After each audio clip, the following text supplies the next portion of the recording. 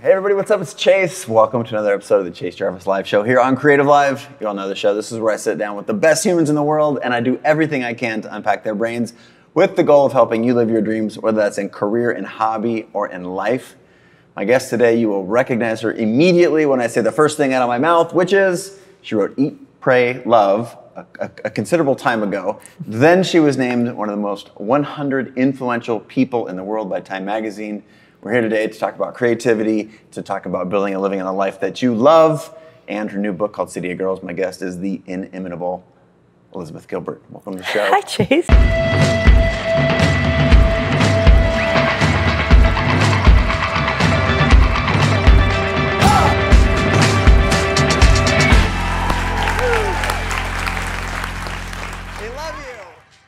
Hi. That was a very dramatic introduction. Ta-da! like. Let's put on a show. Um, thank you for having me in. Thank you so much. Congrats on your new book. Thank you. A novel. A novel, yeah, yeah. That's my roots. I know, I know. Yeah, it's uh, it's funny because I think it's very cute when people come up to me and they say, "I loved your first book so much," and I'm like, What does that I mean? don't think you loved my tiny obscure collection of literary short stories that I published in 1995. I think really you're think you like thinking about Eat, Pray. Love. You're thinking of like I've written, a, but I did get my start in fiction, and um, this is uh, my my fourth work of fiction. It's just I love it. It's so fun for me. It's my home.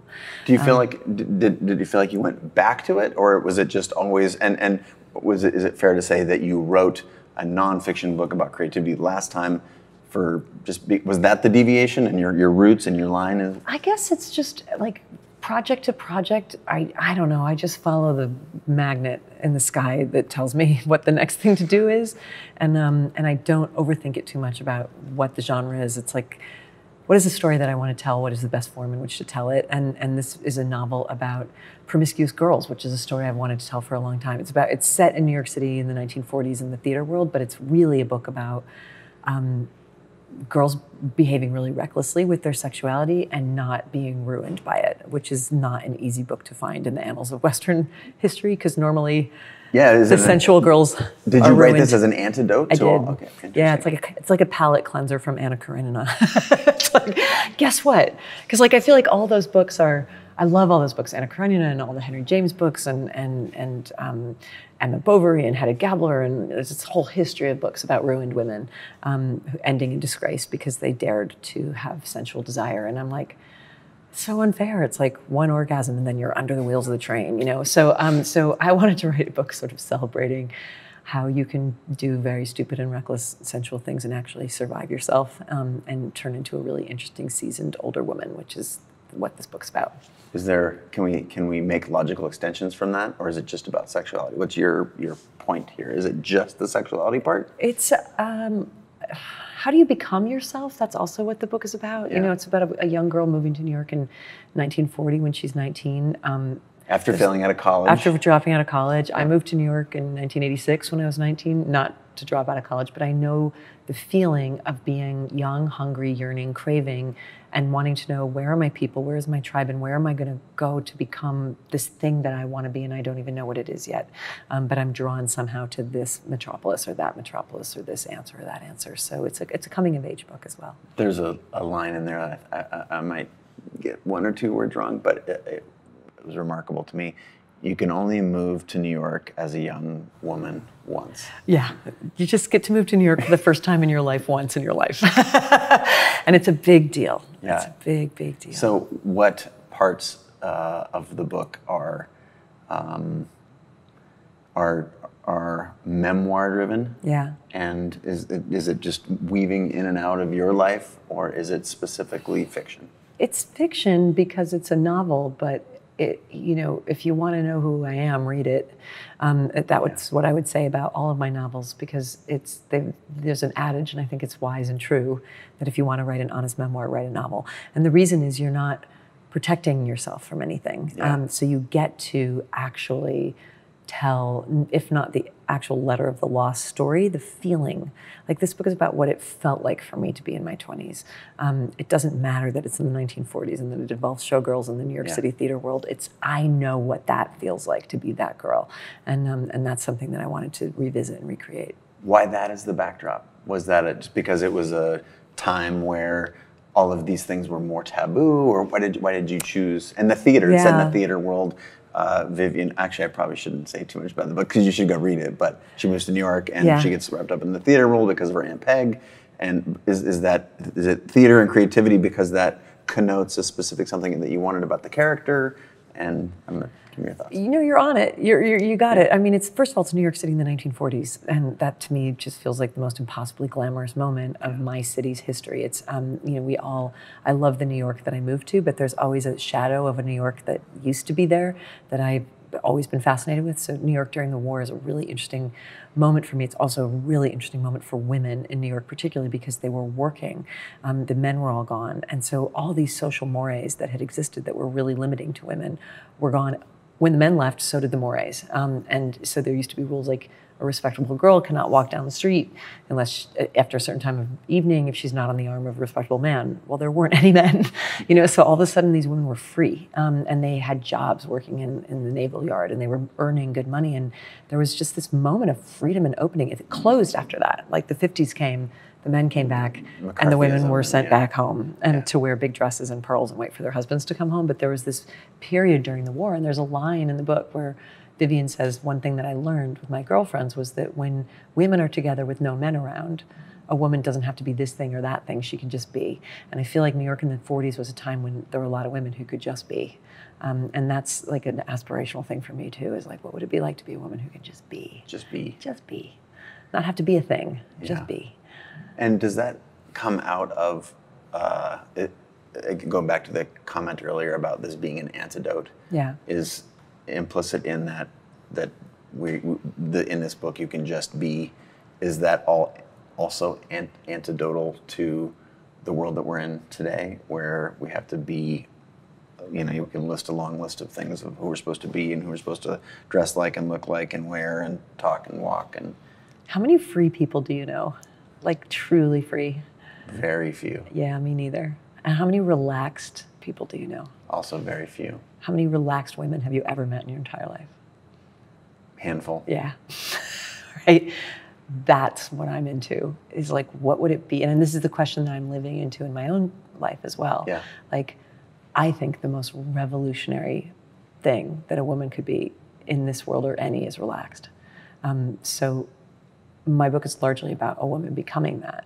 You know, I think if you're going to meet one ever, she's likely to be older, like considerably older, where it just gets to a point where they're like, ah, fuck it. you know, like I just like I can't, I just can't anymore. You know, like I used to, eh, I just can't. You know, there's a certain age that a woman will get to, and I'm, I feel like I'm on the brink of it, but I'm not quite there yet. But, but my greatest aspiration, aside from being my really greatest aspiration, which is to be love in every room that I'm in.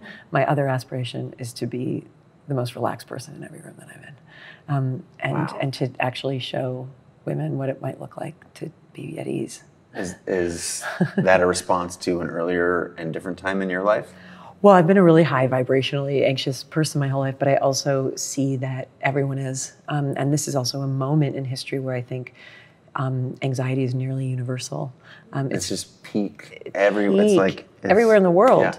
Everywhere in the world. I mean, it's a, it's a product of, of westernization and it's a product of like when I first went to Bali, you know, 15, 20 years ago, it wasn't like that. I'm there now. Balinese people are stressed now. I was like, we have exported this. It's a fucking virus. Like Yeah. stress Right. is this virus that has has somehow colonized the world and it's killing everybody. Yeah. And there's really, really good empirical reason for it. I mean, we, we are like, you know, in the approaching Armageddon. Welcome to the catastrophe Yeah, of a dying God. planet and like the dumpster fire that is politics. All of that is true.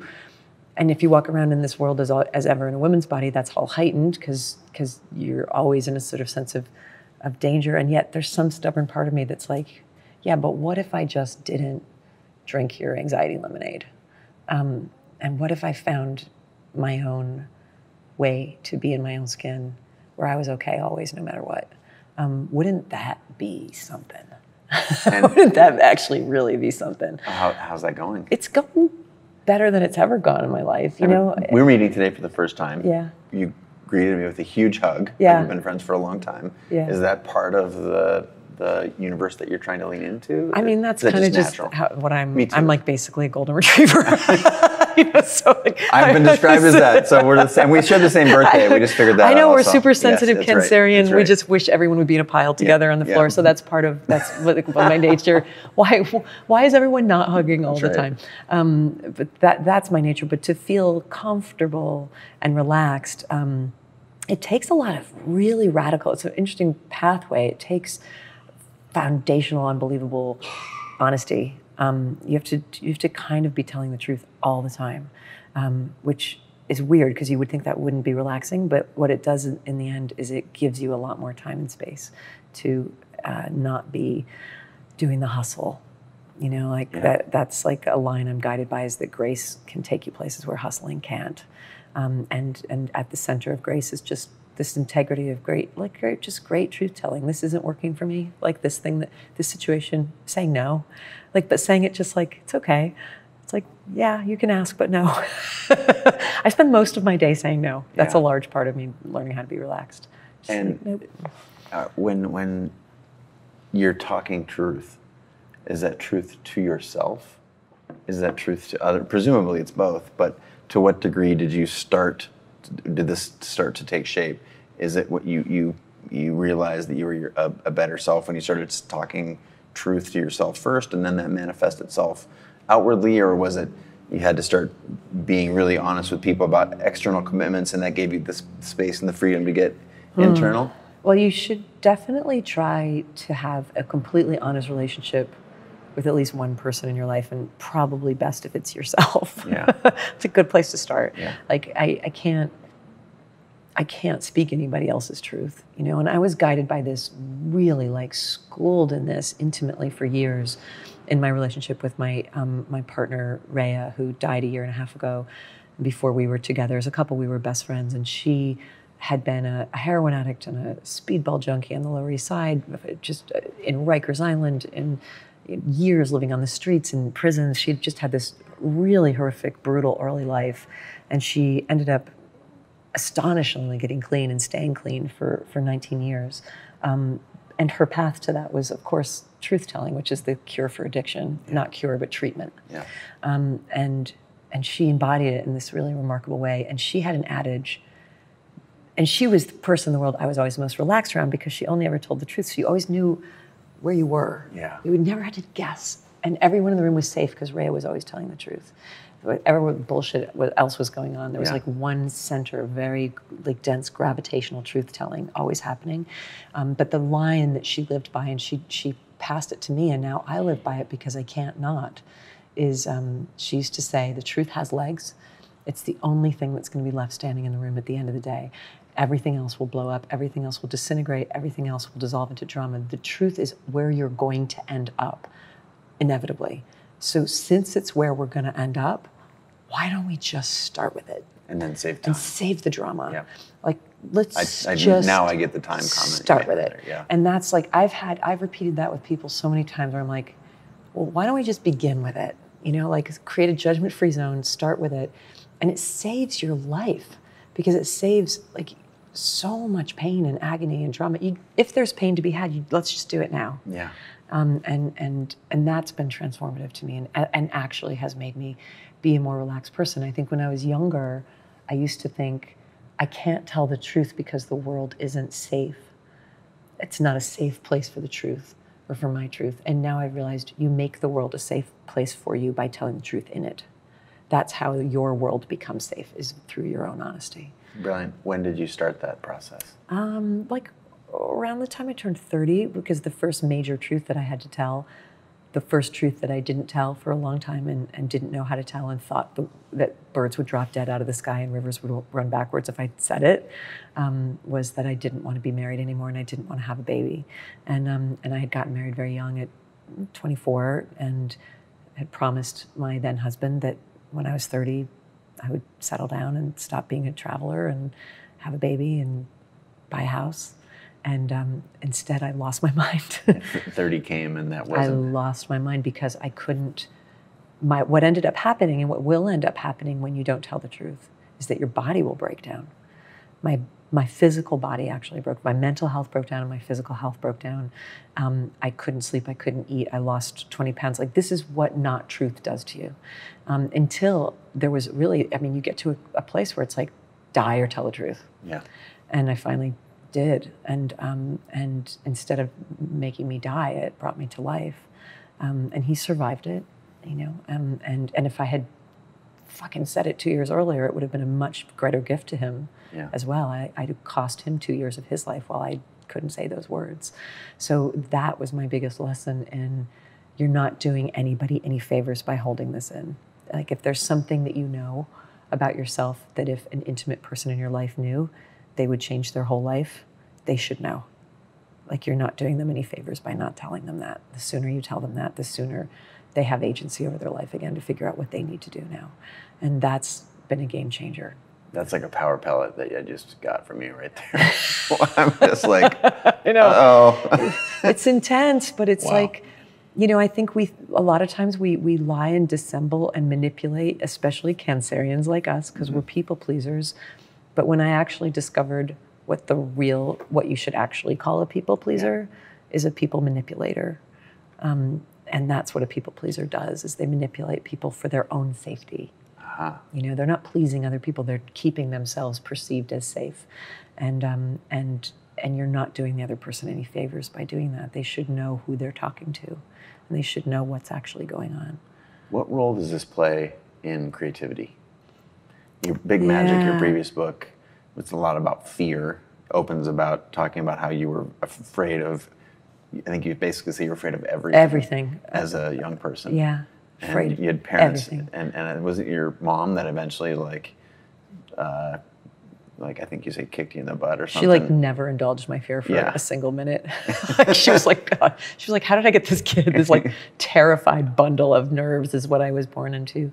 Um, truth telling and creativity. It's an interesting question. I haven't I haven't thought about that. I mean, I think. Um, I was always a creative person. I, it was often an escape for me. Uh, it was a it was a place to go and run to and hide. I liked my imagined worlds better than the real one. Yeah. Um, in school and in, in school playtime? at home, and you know, I grew up on a farm. There was a lot of work to be done. I was with like grew up with really pragmatic, responsible people. There's a lot of intense responsibility put on me from an early age, and so escaping into a dream world was way preferable to being here yeah. um, in, in this place, in this very cold farmhouse with a lot of chores and a lot of jobs, um, and a lot of expectation that you should be able to know how to do everything already.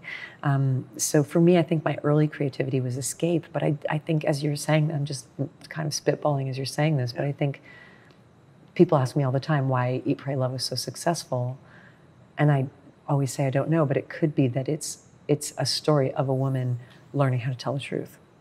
Um, it's a story like that is what happens in the first pages of Eat, Pray, Love. Is that here's this woman sobbing on the bathroom floor for the 90th consecutive night in the middle of the night, unable to say the words, I don't want to be married anymore, who finally says those words. Um, and that is the beginning of like my actual adult life. Um, so I think maybe that creative truth telling can be liberating for a lot of people, not just for the person doing it. Yeah. And does it, uh, for you, did that truth telling unlock a new world of possibilities, a new world of creativity, a new, what do you feel like it unlocked? It unlocked two years of, of highly um, medicated depression. so you got that to look forward to. I mean, truth telling. The way is hard. yeah. The way is hard. I mean, like yeah. Joseph Campbell says, you have to give up the life that you plan to have the one that's waiting for you. But when you give up the life you have planned and you don't know what's waiting for you, there's an interim where there's no ground under your feet. And yeah. um, I also love the the great, great spiritual writer Stephen Mitchell and translator who's who's translated the Bhagavad Gita beautifully and the Tao Te Ching, and who's a Zen practitioner himself. And he says, you know, the way, the great way, um, involves this. First, the rug gets pulled out from under you, and then the floor gets pulled out from under the rug, and then the ground gets pulled out from under the floor, and now you're getting somewhere. Now, you, now you're getting somewhere. You're getting somewhere to the recognition that there is no ground. there is no ground, and that is the beginning. But but it's awful yeah. to feel that when you thought you had security and you thought you had something fixed and then there's like ooh you're like you know a, a, a warner brothers cartoon character running over a cliff and all of a sudden, like, you know, there's that thing that Yeah, happens. Coyote. Yeah, and um, and your friend and mine, Brene, and I have talked about how, you know, we live in a culture that bandies around this very easy kind of ideas like jump and the net will catch you, but all of us know that we've jumped and and like broken ten bones. Yeah. you know, Bounced. Yeah. yeah, Hard. or or not even Yeah, bounced, or splattered, you know, yeah. left an imprint in the cement, you Yeah. know, and we all know that there are, you know, this is a. I'm not sure we come to this world because it's safe. Um, I'm not sure that it's meant to be particularly safe. Um, so I think I think we do a disservice when we try to inspire people by saying, "Yeah, just do it, man. Just go for it," as if there's no consequences, no cost, and, Yeah. and no, no difficulty in that. And and so I'm always really careful to say, "Yeah, I Jump said it's gonna suck. jump and it sucked for two years Yeah. you know and then i slowly slowly excruciatingly with a lot of help um, found my way um, and and that's how it works you know What's the relationship between? Uh, I was struck by something you just said, and it made me think of vulnerability. Um, because when you're, you know, there's the floor there, you're gonna hit, and if truth telling is truth telling a path to vulnerability with it, which is a path to something else, or what's the relationship between? Um, because do you have to be vulnerable to tell the truth? yeah i mean especially if you're telling a truth that you are afraid is going to hurt another person and you're an empath Yeah. Um, I mean, that's the most devastating. Those are the most devastating truths I've ever had to tell, and and I am an empath, you know. So so I'm sitting with you in the pain I just brought to you because of the truth that I have to tell you.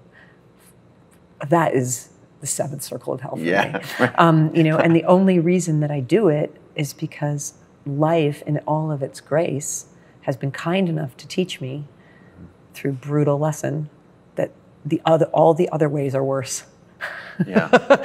Like this is the seventh circle of hell, but all the other things that aren't this are, Are. the eighth circle of hell. That there's no. It's like the domain of oblivion in which no one is no one no one is safe. Um, and and so there's a tremendous faith that has to come in believing that the real is the right way, even if it doesn't look like it in this moment, and and to stop arguing with reality and to figure out how are we going to now live in accordance with reality you know? Um, this is the reality. So now how do we what are we going to do? Um, rather than let's pretend this isn't the reality. Yeah. let me take whatever drugs i have to take to pretend that this isn't the reality. You go do whatever you have to do to hide to pretend that this isn't the reality. And then let's just see where that leads. Um, and and i can't i, I what, the one thing i've discovered about myself is that's a grace and it's horrible as it's happening my being, my actual being, will not allow me to stay in a situation where I'm out of my integrity anymore. I will get, I will break down mentally, emotionally, physically, and spiritually, um, and I will be back on that bathroom floor. And, and eventually, I'll be beaten down to the point where I have to start telling. And I'm like, fuck, do I have to tell the truth again? Yeah. And now you're just like, I, I'm short circling that. I, Ah, I'm not gonna. thought I had. I thought I did this already. I mean, that's the thing. Like, you think you did it once and you're done, Yeah. but like, life again in all her grace. It's like now I'm going to give you another chance. Here's a gift. Here's a gift. Now's another chance for you to be really brave, um, and to know that the only way out is through honesty. Do it again. Do it again. Do it again. And it's getting easier, honestly, um, because I trust it now. Um, I trust it. You mentioned uh, stepping into some of this truth telling um, at the age of 30. Yeah. Uh, what role did Rayya play in? Did, is this another like you, you you went you did a couple of the cycles that we just described Yeah. between 30 and 46 Yeah. and and your experience with the partner that you loved dying from cancer what how did that was that the do you feel like you finally learned You know what it is truth. Is that so she's the most important person of my history. Um, she was my the great love of my life, and also my great teacher and my great friend. Um, and she and the reason that I gravitated to her, and it and it took years for that to develop. were friends for a long We were time. friends for a long time. We were acquaintances for a long time, and then we became friends, and then we became dear friends, and then we became best friends, and then for about four or five years there, I didn't even know what to call her. I just called her my person, even though I was married and very loyal and faithful in my marriage. This was my person. My person to me meant who do I call? Who's my first phone call in every emergency? Yeah. Who's my first phone call when I need advice? Who's my first phone call when I want to celebrate? Who knows everything about me? You know, um, who who do I feel? Who is the one person in the world who I feel completely safe around?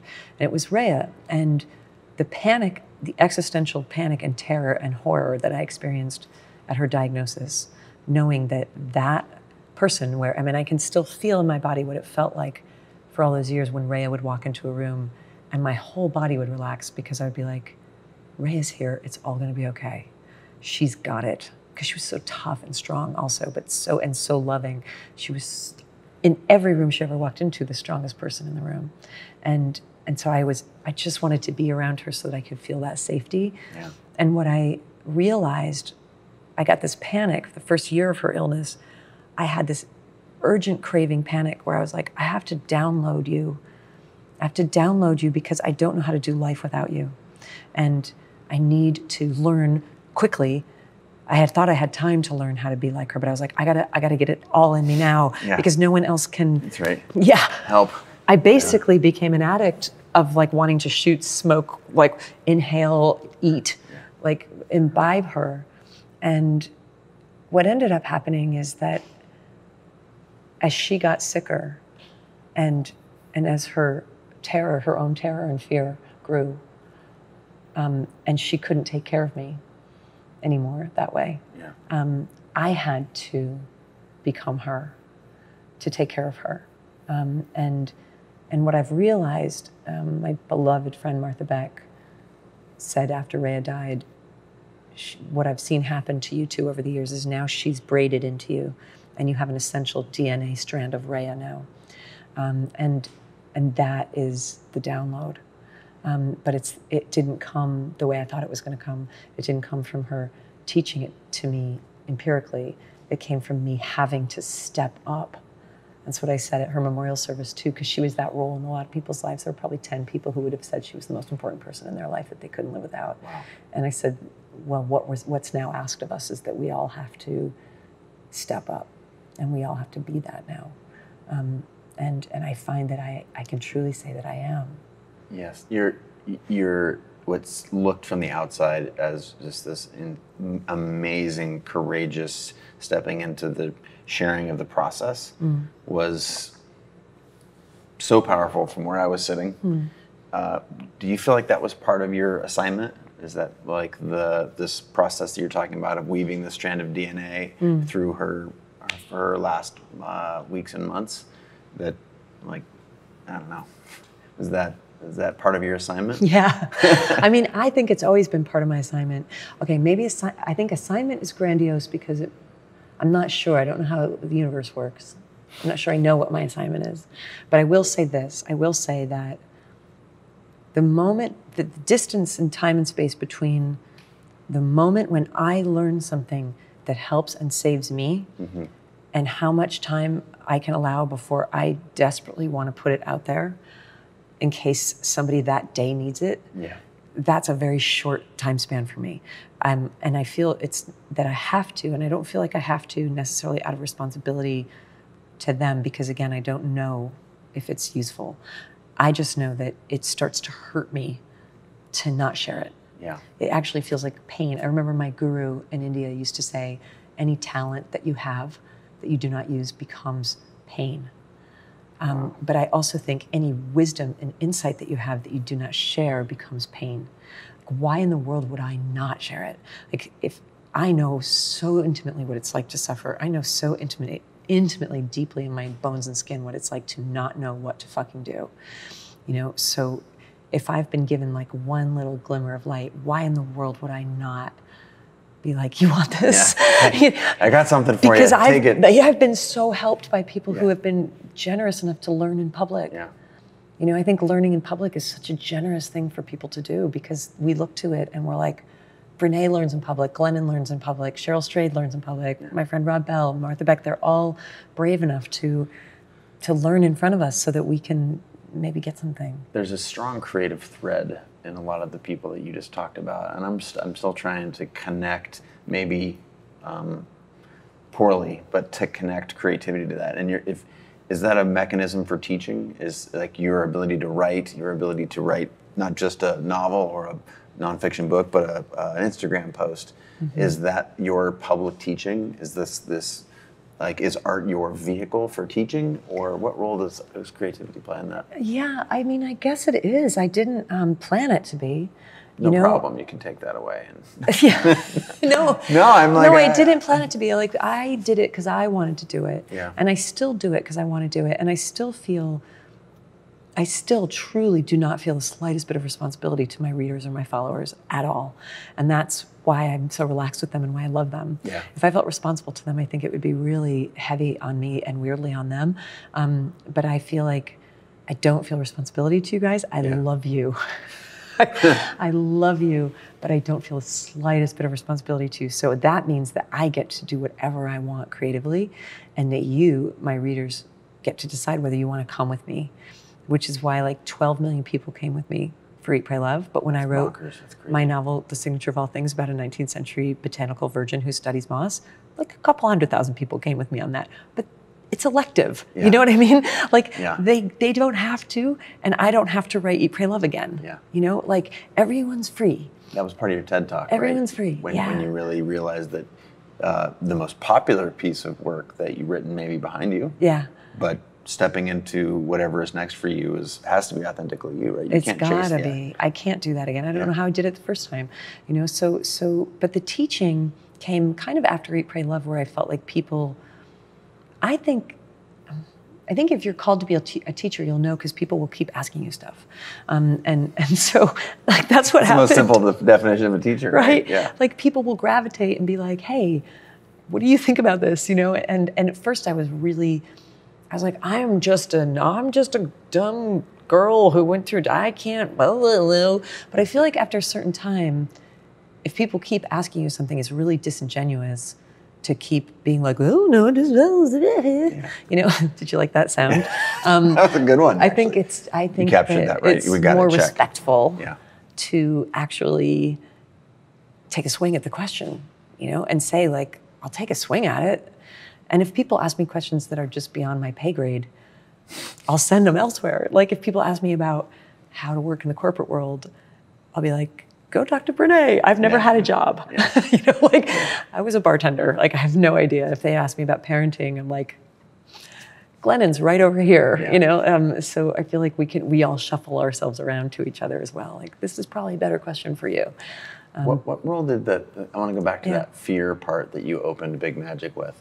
Yeah. the the connection between creativity and fear for you Mm-hmm. and is that do you feel like that's common or is that like why, why did you write big magic I wrote Big Magic actually to because people kept asking me questions about creativity, especially after I gave that TED talk. Yeah. And um, and that is the one book that I could say that I honestly wrote precisely as a self-help book, because it's the one subject where I feel like I actually know about this. Like I'm completely comfortable talking to you and giving you advice about creativity. I've been doing this my whole life and I have a relationship with it that's a lot less tormented than most of the relationships that I see people having with creativity. So let me be an expert here. you know, like let me put on an expert hat and actually say, yeah, I'm a middle-aged woman. I've been doing this a long time. Let me tell you some stuff that I've learned. Um, but but the fear piece is, I think, I think intensely sensitive people tend to experience fear and everything Yeah. at a heightened level. I experience everything. I experience love and passion and lust and sorrow and, and despair and like you know I like drop something on my foot and I experience it at a high level. It's all an opera around me, you know. So so so the fear is just part of that. But but my saving grace in the whole world and in myself is that as afraid as I am and I am, I'm like 1% more curious than I am afraid. Like, thank God when they doled out all these traits to me, they gave me a dose of curiosity that was just like, all it has to be is this much bigger than fear. It doesn't have to be a lot bigger, it just has to be enough bigger that it's worth it to take the risk because you're more interested than you are scared. And that's why I think that my working definition of, of create, creative living, not creativity in general, not meaning that you have to do watercolors or take a macrame class. If you want to live what I think of as a creative life, my definition of a creative life is any life where your decisions are routinely based more strongly on your curiosity than your fear every single day in all your realms of your life. Um, and then your life itself will become a work of art. And it doesn't matter what you make or produce or leave or influence, it's just that you will create a life that will be really interesting for you, which is It's beautiful. person who you want to keep the most entertained. Yeah, right. Beautiful, beautiful. I would imagine. What you said that you were very comfortable uh, giving advice on creativity. Yeah. So knowing, you know, you, you know who's on the other side of these, uh, you know, we're in their ears right now and they're Yeah. watching this video or listening to us, um, without retracing all the steps of Big Magic, because that's Yeah. a 260 page book or whatever. What what is the advice that you have for people? Because there's a lot of folks out there who are stuck or blocked or haven't started. They go from zero to one, trying to figure it out for the for the beginning, or they're they identify as creator and they're trying to go from one to ten. mercy, I think, is the fundamental word that is coming to me as a short answer to that question.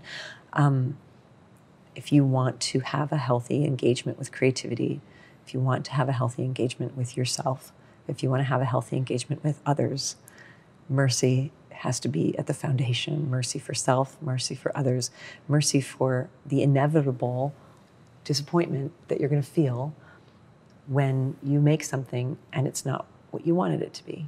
Um, you know, uh, my beloved friend Ann Patchett, the novelist, has this great way of describing this where she says like her favorite part of the creative process is when she's in the dreaming state of it and she gets to be alone with the idea for the novel and and and it follows her for years and she's thinking about it and it's growing in her head and it's with her when she's washing dishes it's with her when she's going through the car wash it's with her when she's at somebody's wedding. She's just constantly got this like lovely dream. And in her imagination the thing that she's going to make she describes it as a tourmaline butterfly like a butterfly made out of gems that it catches the light so beautifully it's so exquisite it's so perfect. This is going to be the one right? This is going to be the one that when i make it it's gonna i'm gonna actually achieve that like platonic ideal of the thing and it's gonna be so beautiful. And then she says the worst part of the creative process is day one of making it because what you have to do is So pluck the tourmaline butterfly out of the sky put it on the desk take a mallet and smash it into a thousand pieces and let it go because it can never exist. And then you make the approximation of your tourmaline butterfly which is made out of like ch- like used chewing gum and baseball cards and like twigs, you know, and like a tin can and like a hinge, and you're like, "Here's my butterfly I made," you know, and it's like, and like, and you're like, "I made it by myself. Look, it's I did it, I did it." And and I think the merciful artist, the merciful creator, the merciful human is the one who can say, you know, no one's ever made one like that before. Good job, self. And maybe there's a reason, but the boring thing would be if all the if we all made tourmaline butterflies. The interesting thing is truly no one's ever made one like that before. Yeah. And the mercy and the empathy towards yourself is what gets you. I always say that there's like on day one, everyone starts day one really excited about their project. Everyone on day two looks at what they made on day one and hates themselves. The only people who get to day three are the people who have mercy. Um, so beyond anything else, whether you're, and that is going to be the same, whether you are a master or a beginner. Um, that is, everyone's day three is where that's where the rubber meets the road. You're going to keep going and keep disappointing yourself, or are you're going to stop. My suggestion is that you keep disappointing yourself and be very, very gracious toward yourself about it. is, that, is that an aspect of bravery, or is that curiosity, or is it like is it compassion. vulnerability, compa- self It's compassion? compassion. It's compassion. Yeah. I mean, it's really the foundation of compassion, which says, um, "The imperfect is the perfect." You know. Um, Say more of that. Like that's a, that's a pretty that's a well, I mean, in a way, it's like the end of the argument. It's the end of the argument against reality. You know. Um, you know, the reality is you can't make. You probably can't make the thing in the way that you dream it. Um, the end of the argument against the pain of that is, so what? Make it anyway. I'm gonna make my like. I'm gonna hatch my weird little steampunk butterfly. It's pretty good. Tin cans, hinges, Yeah. bubblegum, baseball cards, and duct. Did you have duct tape in there? I, I don't know why I didn't, but yours should. Um, you know, so so that is that is. Com- I think that putting yourself in alignment with reality rather than in a constant war against it is is actually what compassion is, and that's also how you find compassion for the other, for the people in your life. Like instead of me needing you to constantly be an entirely different human being than you are, I can put myself in in compassionate alignment with the reality of what you are. I can put myself in compassionate alignment with the reality of what I am. I want to be 10 different things than what I am today, but this is what we're working with. you know, this is what we got. This is what we got. Flap, flap, piece falls off. Uh, this is what we got, you know. How do you do what you do right now? Because you're just like truth zingers. How like is it just repetition of the first time it's hard, second time it's ten percent less hard, third time it's or one percent less hard? I don't know if anybody realizes what percentage of my life I spend taking care of my mental health. Like that's my full-time job. And writing is a hobby that I do on the side. Every once in a while I write a book. The rest of my life, like an enormous percentage of my day is spent managing this neighborhood, warring neighborhood, this like dysfunctional family that I carry inside of my mind. And I everything that I've learned that has any taste of wisdom and grace is from the front lines of this. You know, and I mean it like today. I mean like that's what I was doing on the plane today was managing my mental health today. Wow, wow. Like there are practices that I do every single day in order to keep myself happy and and loved and connected and I do them I have to save my life every single day. Like there's very few I have very few days off from trying to save my own life. Um, so have to this is very immediate Yeah. what I'm talking about. I'm not talking about like what you have to do. I'm talking about what I do. On the way here, yeah. Yeah. What can you? I have to ask. Like, Yeah. What's the? How, what are the things? And I understand. that you're No, I don't mind talking about it things, but- because like look if if it helps. Yeah. Um, well, you there's know, a lot of people who will the take your the guidance. most important relationship that I have in my life is a dialogue that I launched 20 years ago between me and love, capital L love, that I have continued nearly every day of my life over the last 20 years.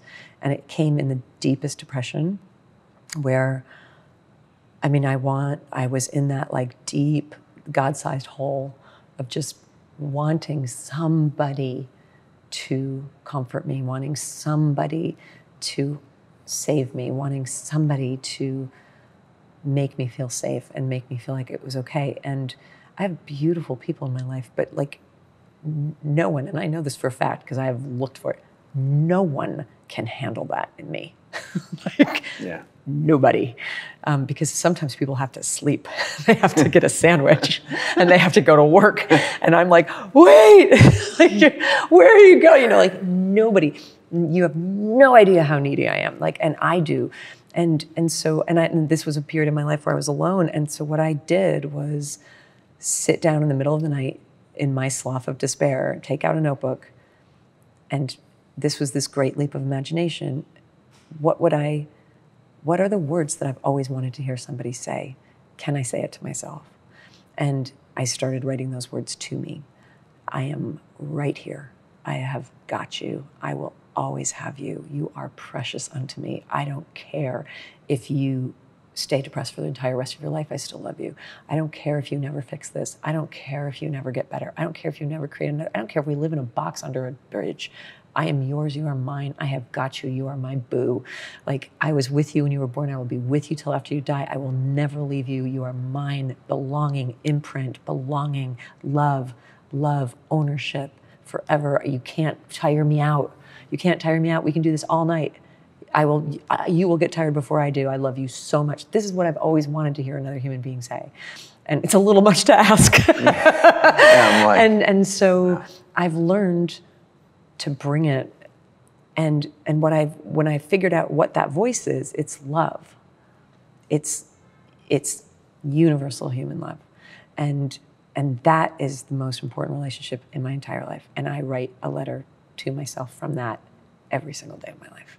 Is that the number one vehicle? Is Yep. writing yourself that love letter, Yeah. capital L love? Yeah, and lots of times it's dialogue, you know, um, and and the dialogue will go like me be like hysterical. I don't know what to do. It's all falling apart. I'm I've failed again. I've lost again. I'm unlovable. I'm untenable. I'm unmanageable. I, I'm I'm back at zero. Help! Help! Help! Help! Help! And love's like always says exactly the same thing. It always begins with I'm right here. I'm right here. I'm right here. I'm right here. I'm with you. I'm not going anywhere. I've got you. And then I will say, What should I do? And love will say, I don't know. That's not my department. I just love you. And then I will say, Tell me how this is going to end. And love will say, I have no access to that information, but I will be with you through it, whatever it is. And then I say, If you can't tell me what to do, and you can't tell me how this is going to end, what the fuck use are you? And love says, I am company for you in your darkest hour, and I always will be. That is my use. That is what I'm here for. And then I can begin to breathe Wow. begin to breathe. And I don't know whether that thing, that voice, is God talking to me, Rayya talking through me, angels on my shoulder, my heightened imagination that creates in its own trauma the thing it needs. I don't care. It works. That works. You're like, doesn't matter. It I'll works. Take it. And I've learned by being able to hold myself that way, I can also be not with anyone, but I can be in the room with almost anyone at this point. Because I can just be like, I don't care if you ever sort this out. You're a wreck, I, but I'm right here. And they're like, What do I do? I'm like, I don't know, but I'll be with you. Like, I'll, I'll just be love in the room with you.